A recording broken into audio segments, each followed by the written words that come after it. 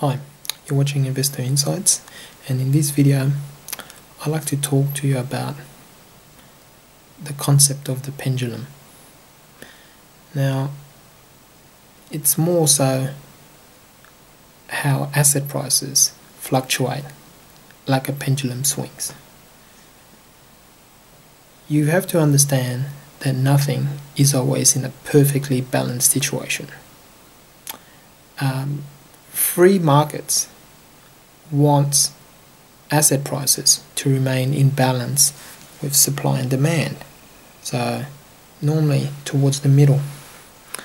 Uh, you'd like supply to roughly meet demand so you have stable prices.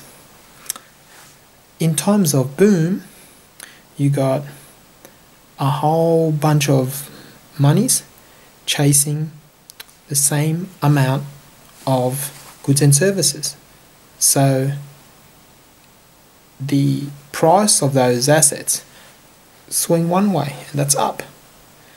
And in times of things like loose monetary policy, um, which actually are the causes of booms, you've got a lot of money printed out that's chasing a finite number of goods and services, and that pushes the price up and up and up and up and up and up. And so the pendulum swings to one huge extreme.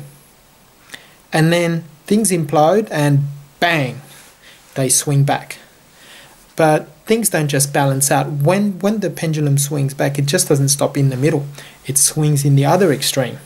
So you now have a whole bunch of sellers um, to not too many buyers, and the prices just fall from beneath their feet and when the bottom drops out as high as the prices were raised during the boom is as low as they can fall during the bust.